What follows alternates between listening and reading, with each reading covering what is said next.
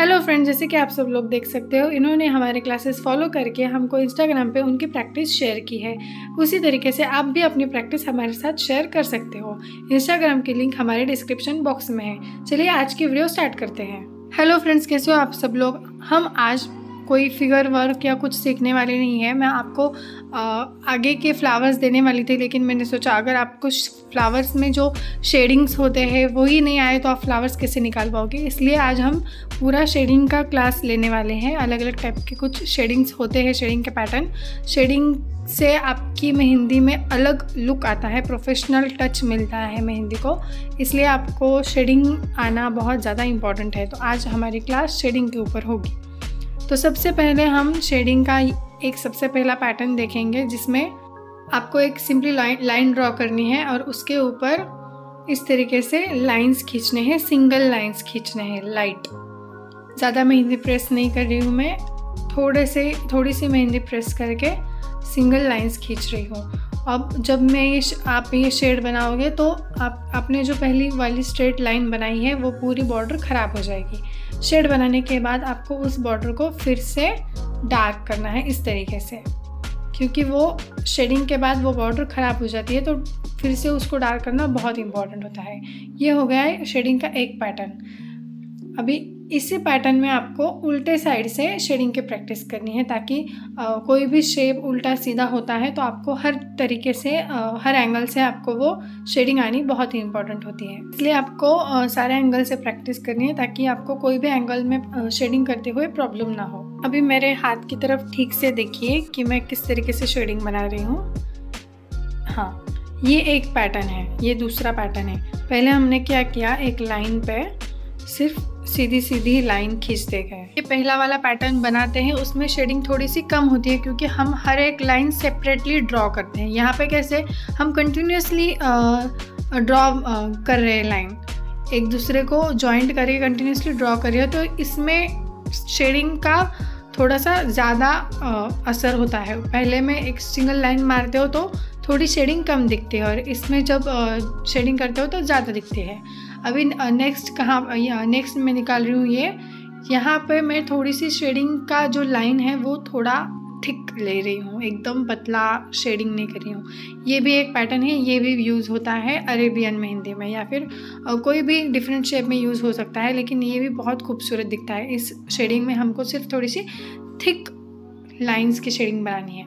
अभी नेक्स्ट मैं बना रही हूँ ये, जो है डॉटेड शेडिंग ये किसमें यूज़ होती है? ये जब हम ग्नूम की बियर्ड वगैरह बनाते हैं या फिर कोई फ्लावर का सेंटर बनाते हैं तो उसमें ये वाली शेडिंग डॉटेड वाली यूज़ होती है।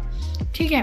अभी और एक शेडिंग है उसमें मैं ऐसे सर्कल सर्कल छोटे छोटे सर्कल सर्कल बना रही हूँ। देख रहे हो? हाथ कैसे घूम रहा है मेरा? सर्कल में घूम रहा है। राउंड राउंड में हाथ घुमा रही हूँ। ये शेडिंग भी आ, हम यूज़ करते हैं जब हम फेसेस को शेड वगैरह करते हैं। उसमें ये शेडिंग यूज़ होती है। शेडिंग करते हुए मेहंदी थोड़ी कम ही प्रेस करनी है। मेहंदी लाइट ही दिखनी चाहिए। शेडिंग की जिससे दिखना चाहिए। बहुत ज़्यादा मेहंदी प्रेस करोगे तो वो बहुत डार्क हो जाएगा। तो शेड शेडिंग नहीं दिखेगी। पे फोर और फाइव में क्या डिफरेंस है? एक एक में लाइन लाइन है सिंगल और एक में कंटिन्यूस लाइन है।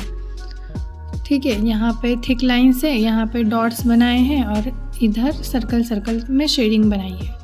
अभी नेक्स्ट देखते हैं क्या है शेडिंग का पैटर्न शेडिंग पैटर्न हम क्लॉथ्स में यूज़ कर सकते हैं। जो बड़ा शेप होता है, नहीं तो फिर ड्रेसिंग्स होते हैं ड्रेस में। हमको पूरा ड्रेस फिल करना होता है शेडिंग से तो वहाँ पर हम ये वाली शेडिंग यूज़ कर सकते हैं। अभी ये वाली जो मैं बना रही हूँ सेवेंथ वाली, ये क्या है समझ में आ गया? जो हम हम्स बनाते हैं ना, वही हम्स बनाने हैं एक के ऊपर एक, लेकिन एकदम लाइट बनाने हैं। एकदम लाइट इस तरीके से। हम्स बनाने हैं, लेकिन एकदम लाइट बनाने हैं, जो कि दुल्हन के पल्लू में ड्रेस घाघरे में वगैरह यूज़ होगा, वो वाला शेडिंग अभी मैं आपको पूरे शेडिंग का एक एक एग्ज़ाम्पल दे देती हूँ। आपको हर एक शेडिंग का बहुत ज़्यादा प्रैक्टिस करनी है। डिफरेंट डिफरेंट शेप्स बनाइए उसमें हर एक शेडिंग की प्रैक्टिस करिए अभी ये सबसे पहला, जिसमें हमने लाइट लाइंस बनाए थे, एकदम फेंट लाइंस सिंगल लाइंस उसके बाद हमने कंटिन्यूस लाइंस बनाए राइट इस तरीके से कंटिन्यूसली ठीक है, इसमें ज़्यादा शेडिंग होती है। ध्यान रहे शेडिंग के बाद बॉर्डर करना कंपलसरी है। अभी हम एक आगे की शेडिंग देखते हैं। इसमें हमने थिक लाइन वाली जो शेडिंग है, वो बनाई है। देख सकते हो आप, तीनों तीनों में, तीनों शेडिंग में भी डिफरेंस है। फ़र्स्ट में शेडिंग थोड़ी लाइट है सेकंड में थोड़ी सी ज़्यादा शेडिंग है और थर्ड में हमने डार्क शेड बनाए हैं।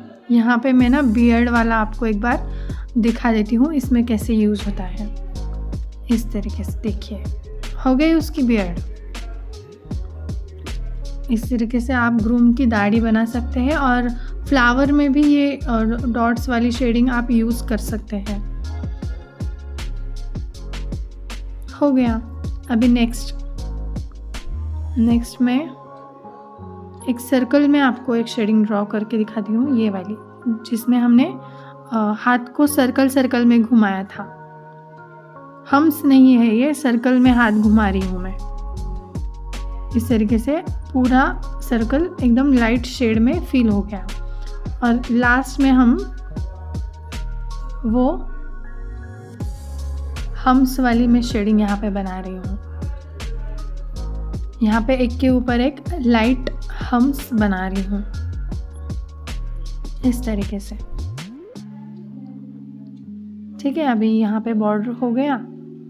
इस तरीके से ये शेडिंग के पूरे पैटर्न्स आपको प्रैक्टिस करने हैं। और बॉर्डर देना कंपलसरी है। हर एक फिगर को शेडिंग देने के बाद बॉर्डर देना कंपलसरी है।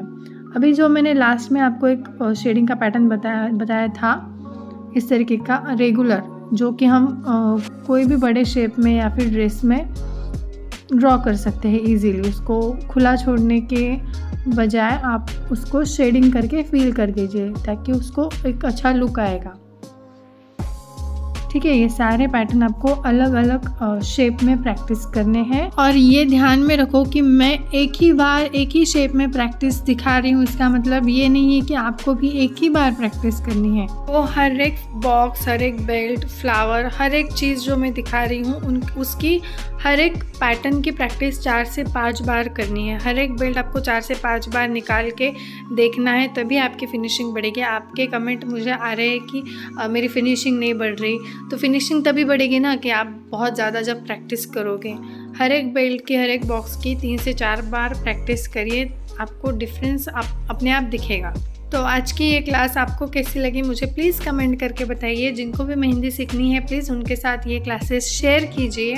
और वीडियो अच्छी लगी हो तो वीडियो लाइक करिए। अगर आप चैनल पे नए हैं तो चैनल को सब्सक्राइब करना ना भूलें। मिलते हैं नेक्स्ट वीडियो में नेक्स्ट क्लास के साथ। तब तक के लिए टेक केयर बाय